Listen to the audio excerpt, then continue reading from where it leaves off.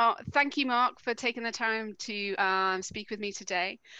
Mark is a pedagogical evangelist at Adobe, uh, responsible for quite a big, large area as well. And uh, I'm really excited to hear what both he um, and Adobe have in store for us in terms of digital education futures. So, Mark, tell us a little bit about yourself and your background. Yeah, sure. So, I started um, out as a, as a lecturer, a computer science lecturer. Um, but I've been fortunate enough to spend uh, about 13 years at the University of Cambridge, where I held various roles to do with learning innovation, digital learning, and learning transformation. And for the last four or five months, I've been at Adobe, where I am the pedagogical evangelist for higher education here in Europe. Wow, that's amazing. So, with those multiple hats and massive amounts of experience, so Mark, could you tell us what the sort of future models of education are and how they might fit into the role of um, the sort of digital skills that is required and the kind of amazing uh, products that are coming with Adobe and the benefits of those?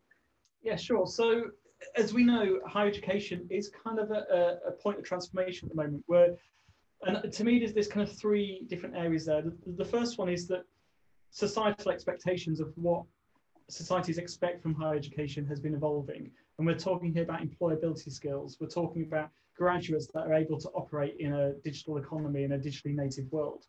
Then we've got the actual effect that digital technologies have had on education, how that's brought um, the challenge for new business models and for serving new learning requirements.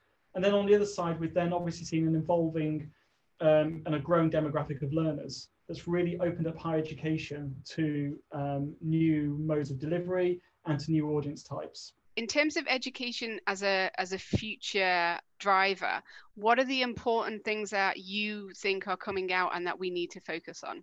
Okay. we've just um, done a lot of work with uh, the welsh government where every primary and secondary school in wales now has access to adobe spark. And that was driven by a priority by the welsh government to prioritize digital literacy up there with numeracy and with literacy and so that now means that we're able to integrate those tools into the teaching and learning of students that as they're learning history, as they're learning English, they're also learning some of those vital um, digital skills. And what we're finding with, with Creative Cloud and with, with tools like it's, yeah, it's, it's a foundational tool from which educators can build engaging activities and assessments on top of it. Um, but it's having that kind of standardized um, foundation that means that students can find their own superpower. Some will really gravitate towards video, Others, it might be 3D or it might be um, working with imagery.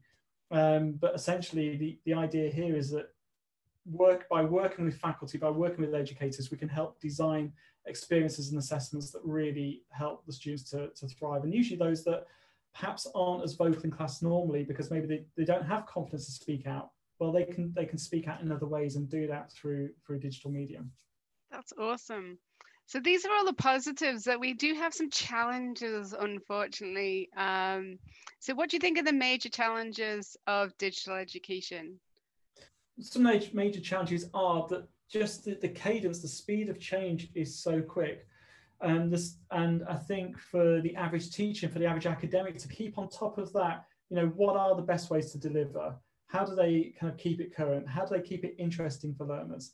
I think there's there's real challenges there. I think also in around kind of standardization of frameworks. Obviously, I think COVID has has, has highlighted. I'm sure you've had many people uh, sharing experiences and speaking about that.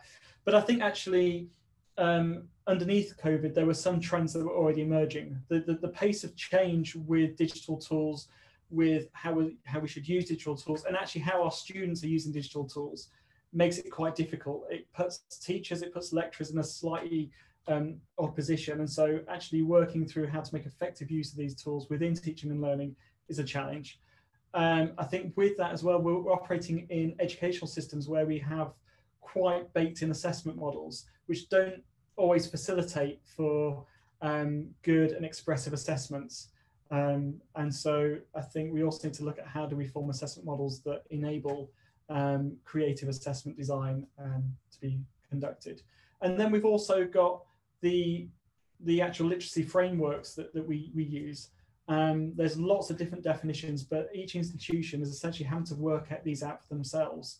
And so it's, it's quite difficult to actually highlight which skills and knowledge and behaviors we want our graduates and students to be delivered on and then how do we actually assess them or how do we quantify them that kind of piggybacks onto my next question so so how could defi as a center help with those challenges?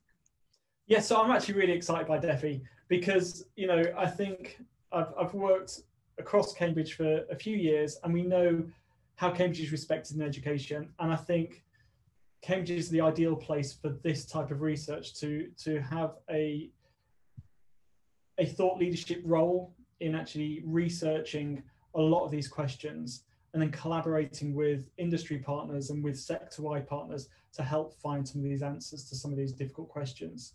Um, so I think DEFI plays could play an important role in helping to kind of shape ideas and, and potentially policy around some of these changes that are being brought about um, with the implementation of digital technologies. Okay, thank you for your time, Mark. That was absolutely wonderful. thank you very much, Genevieve. Good to see you.